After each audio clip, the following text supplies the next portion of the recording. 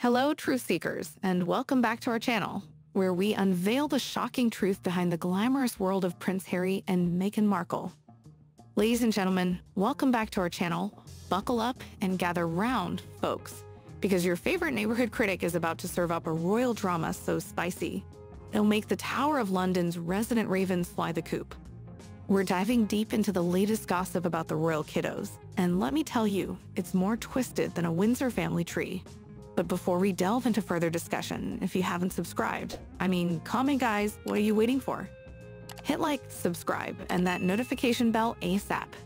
So now, Prince George, Princess Charlotte, and Prince Louis, the adorable munchkins of Will and Kate, apparently know diddly squat about their cousins across the pond, Archie and Lilibet. That's right, folks. The royal cousins are about as close as the queen was to understanding TikTok. It's like they're living in parallel universes, separated by an ocean of drama and a whole lot of tabloid ink. Now, before we dive in, let's get one thing straight. I'm not here to judge. I'm just a humble neighborhood critic, serving up the tea and letting you decide if it's Earl Grey or just hot garbage water. So don't come at me with your scepters if you disagree. Save those for your next family feud, yeah. All right, let's break this down. According to royal expert Phil Dampier, and let's be real, being a royal expert sounds like the cushiest job ever. Where do I sign up? George, Charlotte, and Louis know very little about Archie and Lilibet. It's like Harry and Meghan's kids are the royal family's version of Bigfoot. Everyone's heard of them, but no one's actually seen them. But wait, it gets juicier. Apparently, the Wales kids have never met Archie and Lilibet.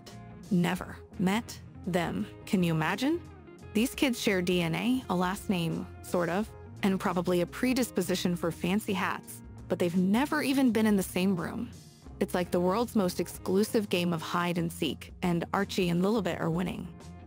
Now, some of you might be thinking, but wait, didn't Harry and Meghan invite the Wales kids to Lilibet's first birthday party? And you'd be right. Good memory, gold star for you. But here's the kicker, they didn't show up. Ouch, that's colder than the Stone of Scone on a winter morning. But here's where it gets really interesting.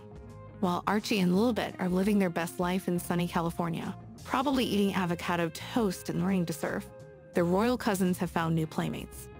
Enter the Tindall kids, Mia, Lena, and Lucas. These little rugrats have basically become the surrogate cousins for George, Charlotte, and Louis. It's like the royal version of the Brady Bunch, but with more tiaras.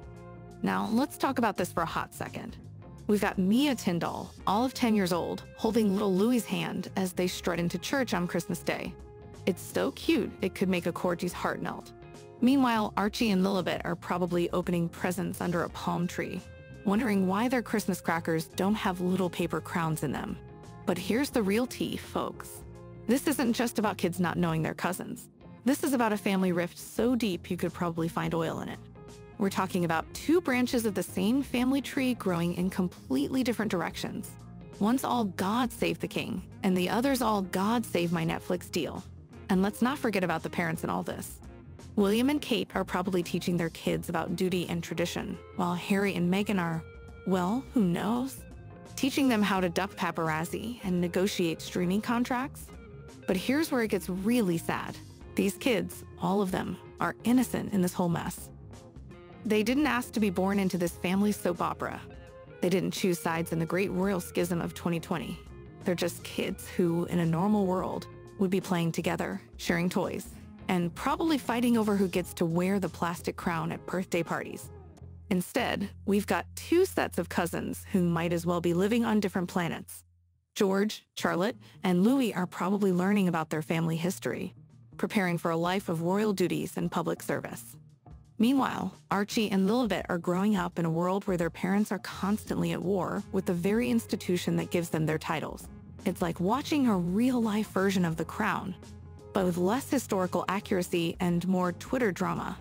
But let's take a step back for a second and think about what this means for the future of the monarchy. We're looking at a generation of royals who are growing up completely disconnected from each other. What happens when they're adults? Will we see a united front of cousins working together for the good of the crown? Or will the divide just keep growing until the royal family tree looks more like a bush with some very distinctly separate branches? And let's not forget about the cultural divide. George, Charlotte, and Louis are growing up steeped in British tradition, probably learning to queue before they can walk. Archie and Lilibet, they're Californian kids. They probably think tea time is when you drink kombucha. But here's the real kicker, folks. This whole situation is a stark reminder of how family drama can have long-lasting effects. Harry and Meghan's decision to step back from royal duties wasn't just about them. It's impacting an entire generation of royals. So what's the solution? Well, if you ask me, and since you're watching my channel, I'm going to assume you are, it's time for the adults in this situation to grow up. Put aside the hurt feelings, the tell-all books, the Oprah interviews, and think about the kids. Imagine a world where Archie and Lilibet fly over for Christmas at Sandringham, where they build snowmen with their cousins, learn about their family history, and maybe even pick up a British accent or two. Where George, Charlotte, and Louis visit California, learn to surf, and get a taste of life outside the royal bubble. It sounds like a fairy tale, doesn't it? But isn't that what the monarchy is supposed to be about? Fairy tales and happy endings? But let's be real for a second. The chances of that happening anytime soon are about as likely as the Queen coming back and declaring the monarchy was all just a big practical joke. The rift between Harry and the rest of the royals seems to be growing wider by the day, and the kids are caught in the middle. So what do we do? Well, we watch, we wait, and maybe, just maybe, we hope that someday these kids will grow up and decide to bridge the gap themselves. Because at the end of the day, they're family. And family, even royal family, should stick together. But until then, we'll just have to content ourselves with imagining what could be. Imagining a world where all the royal cousins play together, where they share their different experiences, where they learn from each other and grow together. Instead, we've got two sets of kids growing up in completely different worlds, probably with completely different values and perspectives. And that, my friends, is the real tragedy in all of this. So what do you think, YouTube fam? Is there any hope for a royal cousin reunion? Or are Archie and Lilibet destined to be the family's mysterious American relatives that everyone talks about but never sees? Let me know in the comments below. And don't forget to like, subscribe, and hit that notification bell so you never miss another scorching hot take from your favorite royal watchdog. Until then, stay tuned for more shocking stories and scandalous exposes on our YouTube channel. Remember to like, share, and subscribe to stay updated on the latest from the world of the royal family. Thanks for watching. We'll see you again with some more fascinating news about the royal family. Bye for now.